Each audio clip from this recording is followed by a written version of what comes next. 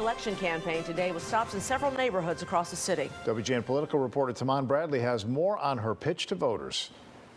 I need your help. I need your help. I need you by my side as we run this race one more time. The election is eight months away, so it's likely the message will evolve. But for now, Mayor Lightfoot's campaign pitch is stay the course. I'm running again because the work on behalf of the people isn't done. Lightfoot's day long campaign blitz took her to Ashburn, Greater Grand Crossing, Little Village, Garfield Park, and North Austin. The thing that we're going to be doing as a part of this campaign is reminding people about what we've done and how we've delivered for them, even through a pandemic. Joining Lightfoot at each stop, close city council allies. This have not been an easy job. I want to thank the mayor for thinking about what people are worried about.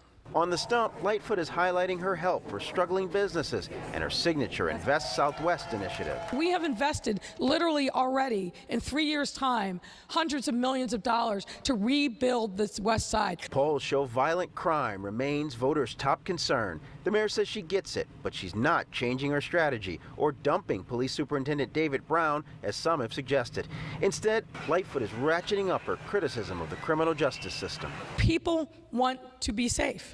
They want to make sure that the criminal justice system is working for them. Some Lightfoot supporters, like Jaime De Palo, agree. We can throw the blame at each other and everything else, but I think it's not the mayor. I think it's the, the judicial system is not throwing the book at those criminals, and, and it's not the mayor's fault. So far, five candidates have stepped up to challenge Lightfoot Willie Wilson, Raymond Lopez, Kam Buckner, Paul Vallas, and Roderick Sawyer.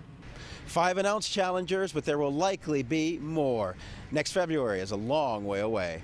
Reporting in Garfield Park, Tahman Bradley, WGN News. Illinois is now the first and only state to ban